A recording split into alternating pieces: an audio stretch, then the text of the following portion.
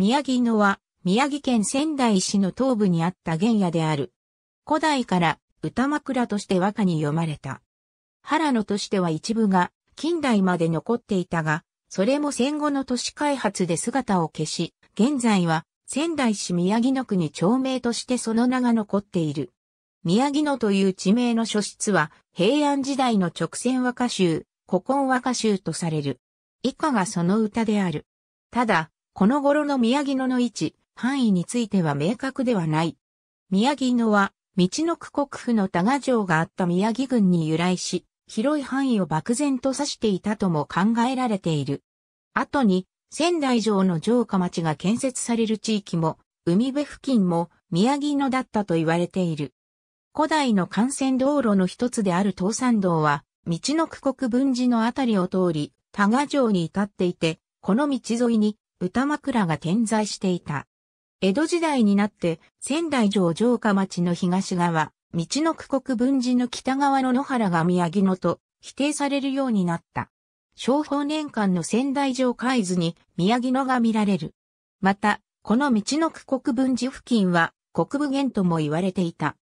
鎌倉時代の歴史書、東鏡によれば、鎌倉政権と欧州藤原氏が争った1189年の欧州合戦で藤原康平は源頼朝の軍勢を迎え撃つために国武元、無知立に本陣を置いたという。江戸時代の仙台藩の知史、法内風土記は国武元と宮城野を同地とする。萩は宮城野と共によく読まれた。宮城野は歌枕として歌に読まれた。宮城野を読んだ歌の例として以下のものがある。また、宮城野は源氏物語の中でも読まれている。これにより、宮城野の成果は、より高まっただろうとも言われる。ただし、地名としての歌枕は関連上のものであることが多く、宮城野の実際の景色を読んだ歌は、ほとんどない。萩、老、鹿が宮城野の縁語となり、これと共に読まれた。このような宮城野の新章が、都人の同型を書き立てたのである。ただし、宗久の、との、つとは気候であり、実際の宮城野を忍んだものとされる。近世においては、奥の細道の旅路で、松尾芭蕉が宮城野を訪れたが、ここでの句を残してはいない。1771年に宮城野を訪れた儒学者の細井平州が、族の畑に草草の葉も混じり降りて、いずこに萩の咲いたる蘭と、完成の頃に廃人の縁道を曰く人が宮城野を大根植えて減らし蹴りと、当時の宮城野の様子を記している。近代文学においては、島崎東村の詩に宮城野が見られる。詩集、若菜集の草枕において、道なき今の見なればか我は、道なきのを忍ぶ日思い乱れて、道の区の宮城野にまで、迷い、木の神の宿の宮城野よ乱れて、寝つき割れ身には、日陰も薄く塞がれて荒れたるのこそ、嬉しけれと読まれている。昭和初期の仙台市の地図。地図の右側に宮城野原が見られる。この頃の宮城野原は陸軍の連兵場だった。江戸時代に入って仙台城とその城下町の建設や田畑の開墾が行われる中で城下町の東側、道の区国分寺の北側の区域は藩主の狩り場として野原のまま残された。そのため、生荘原とも呼ばれた。野森がここに置かれ、人々がこの野原にみだりに入ることは禁じられた。仙台藩の知史、大宇関石門老氏によれば、この頃の宮城野原は、萩やおみないし、割れもこう、藤バカマ、桔梗などの草花が茂り、ひばりやうずらが生息する野原だった。仙台藩第四代藩主、伊達綱村は、宮城野の萩が絶えることがないよう、これを他の五箇所に植えさせた。また、宮城野原の東側には、鈴虫団と称されるところがあり、仙台城の奥方や姫君がここに、鈴虫の音を聞きに来たという。仙台藩では、藩主の伊達家が、徳川将軍家に鈴虫を献上する習わしがあった。明治時代になると、仙台に東北鎮台が設置されたことから、宮城野原は陸軍の連兵場となった。ここでは、広大な敷地を利用して祭事がたびたび行われた。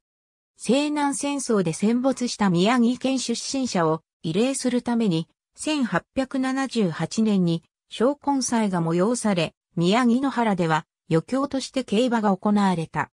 この後も、小根祭の一部として競馬などの余興がたびたびここで行われた。1911年には、後に大正天皇となる皇太子を迎えて、仮設された仙台宮城野原競馬場で、サンバ牛組合主催による競馬が開催された。また、1888年に文部大臣の森有則が宮城県を訪れた際、これを歓迎するために、当時の仙台の児童、生徒合わせて約7000人が宮城野原に集まり、ここで連合運動会が開催された。これをきっかけに宮城野原における小学校の連合運動会が恒例行事となった。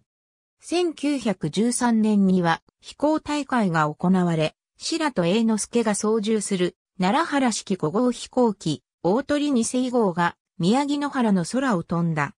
1915年には曲芸飛行士アート・スミスによる飛行大会がここで行われた。この後も何度か飛行大会が開催され、宮城飛行学校がここに設置されましたが、これは1年で閉鎖された。連平城跡地に建設された宮城野駅。戦後の宮城野原は一部が新中軍用地になった他は近隣住民の工作地となっていた。宮城県は連平城跡地の約半分の敷地に宮城野原公園総合運動場を計画した。この運動場は1949年に起工され、1952年の第7回国民体育大会までに、宮城球場や宮城陸上競技場などの諸施設が順次竣工した。また、戦後の復興の中で、仙台駅の貨客分離が計画され、連平場跡地に貨物駅が建設されることになった。国鉄は長町駅と東仙台駅の間に仙台駅を経由しない貨物線を敷設し、連平場跡地に宮城野駅が1961年に開業した。1965年にこの付近一帯の町名は宮城野となった。また、1989年に仙台市が政令指定都市へ移行した際、仙台市北東部は宮城野から名前を取った宮城野区となった。宮城野の萩は都にまで知れ渡る著名なものだったと言われる。平安時代後期、陸奥守だった立花のため中がその任を終えて都へ帰還する際、都人を喜ばせるために、宮城野の萩を長筆に入れて持ち帰ったという逸話もある。この時代の宮城野の萩がどのようなものだったのか、具体的にはわからない。後の江戸時代の知識によれば、江戸時代の宮城野の萩は一年生植物の草萩であると記される。それと同時に、宮城野の萩がかつて弓や鼓の材料として使われていたという言い伝えへの言及もある。萩の種として宮城野から名を付けられた宮城野萩があるが、これと歌に読まれた宮城野の萩はそれぞれ異なるものとされる。現代の植物図鑑によれば、宮城野に野生の宮城野萩はない。今日、仙台の周辺に自生する主な萩としては、木萩、つくし萩、山萩がある。ありがとうございます。